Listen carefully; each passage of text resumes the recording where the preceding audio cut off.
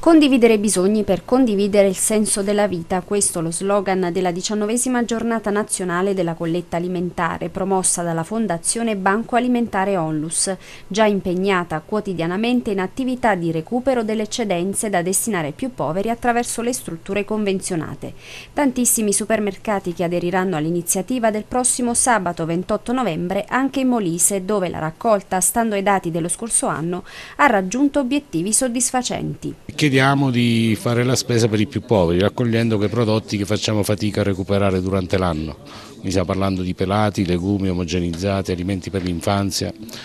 biscotti e pasta.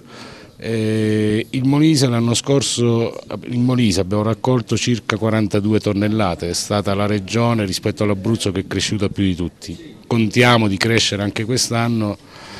e credo che abbia un duplice significato, non solo fare la spesa perché è più povero, ma anche un segno di testimonianza rispetto agli accadimenti di Farigi, cioè eh, riuscire a fare un gesto così partecipato è segno di condivisione, fratellanza e umanità. Quindi invitiamo tutti a partecipare